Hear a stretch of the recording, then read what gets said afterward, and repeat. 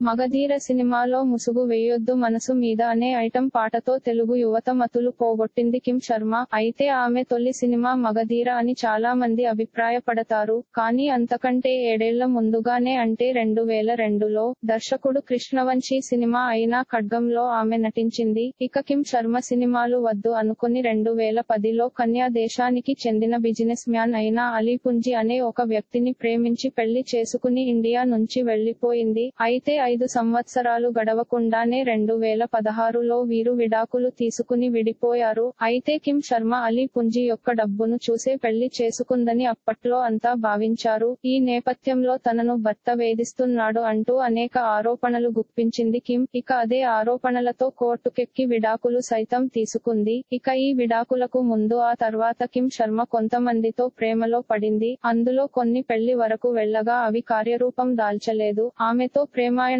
నడిపిన ఆ స్టార్స్ ఎవరు చూద్దాం. యువరాజ్ సింగ్ కిమ్ శర్మ సినిమాలో నటిస్తున్న కాలంలోనే యువరాజ్ సింగ్తో కొన్నాళ్ళ పాటు డేటింగ్ చేసింది. కానీ యువరాజ్ తల్లికి ఆమెపై సదాభిప్రాయం లేకపోవడంతో వీరి డేటింగ్ కాస్త రిలేషన్షిప్గా మారకముందే బ్రేకప్ జరిగిపోయింది. హర్షవర్ధన్ టాలీవుడ్ బాలీవుడ్లో క్యారెక్టర్ ఆర్టిస్ట్గా అలాగే చిన్న సినిమాలకు హీరోగా కెరియర్ కొనసాగిస్తున్న హర్షవర్ధన్తో కిమ్ కొన్నాళ్ళ పాటు ప్రేమాయణం సాగించింది. అవును మాయా వంటి పలు చిత్రాలలో హర్షవర్ధన్ నటించగా బాలీవుడ్లో సైతం సోనం రే సినిమాతో గుర్తింపు సంపాదించుకున్నాడు. కారణాలు ఏంటో తెలియదు కానీ కొన్నాళ్ళకే వీరి డేటింగ్ ముగిసిపోయింది. లియాండర్ పేస్ ప్రస్తుతం టెన్నిస్ దిగ్గజం అయిన లియాండర్ పేస్తో కిమ్ శర్మ కొన్నాళ్ళుగా పీకల్లోతో ప్రేమలో మునిగి తేలుతోంది. పేస్ సైతం ఇటీవల తన భార్యకు విడాకులు ఇచ్చి ఒంటరిగా ఉంటున్నాడు. దీంతో వీరిద్దరు పెళ్ళి చేసుకుంటారు అనే వార్తలు గట్టిగా వినిపిస్తున్నాయి. ఇలాంటి మరిన్ని తెలుగు వార్త విశేషాలు కోసం ఛానల్కి సబ్స్క్రైబ్ చేసి గంట నొక్కడం మర్చిపోకండి.